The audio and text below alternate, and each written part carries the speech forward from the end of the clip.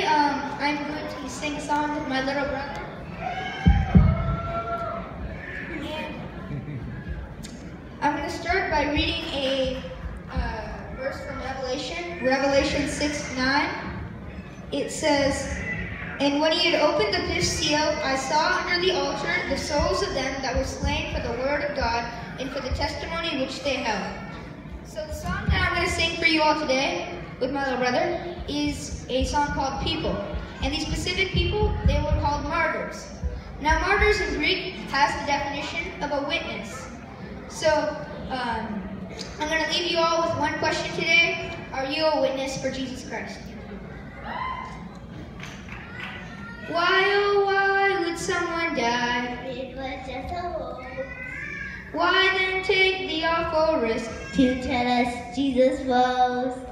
Simple men from Galilee Will not have spoken lies. to get enrolled in history books. Admire us for Jesus Christ. Three, two, one. James was caught by Herod. Herod captured Peter. They were sharing Herod's outbreak of attacks upon believers. James would have to face the sword, and Peter would escape it. They were not afraid of dying. They both knew that they could take it. Thomas preached in Babylon and India, they claimed. When the local folks impaled him with a lynch while he was praying, they were all about to die, but they weren't thinking much about it. And their story didn't have a chance, but none of them were doubters. Why, why did someone die? It was just a hope. Why didn't take the awful risk to tell us Jesus rose? Simple man from Galilee will not have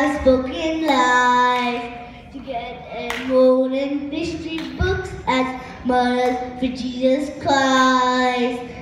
Neil, Neil, Neil, Neil, Neil, Neil, Neil, Neil, new.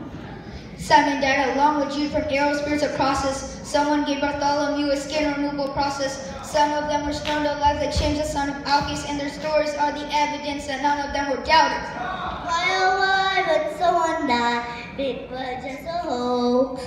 Why didn't take the awful risk to tell us Jesus rose? Simple man from Galilee, who not has spoken lies, to get enrolled in history books as models for Jesus Christ. Kneel, kneel, kneel, kneel, kneel, kneel, kneel, kneel.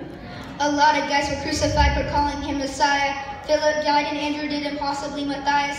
Peter's was the most unpleasant death for being Christian. They would turn him upside down and then go through his crucifixion. Paul, he was beheaded. Probably Matthew did the same, and then they threw off of the temple top the other guy named James. They were all about to die, but they weren't thinking much about it. And there's a gory bunch of evidence that none of them were doubters. Why, why would someone die? It was just a hoax. Why didn't take the risk to tell us Jesus from Galilee would not have spoken lies to get in history as martyrs for Jesus Christ. New, new, new, new, new. Now, today I'm going to end with a verse from Matthew. It's Matthew 10 28. And fear not them which, which kill the body, but are not able to kill the soul, but rather fear him which is able to destroy both soul and body in hell. And again, I leave you with one question Are you a witness for Jesus Christ? Reuben!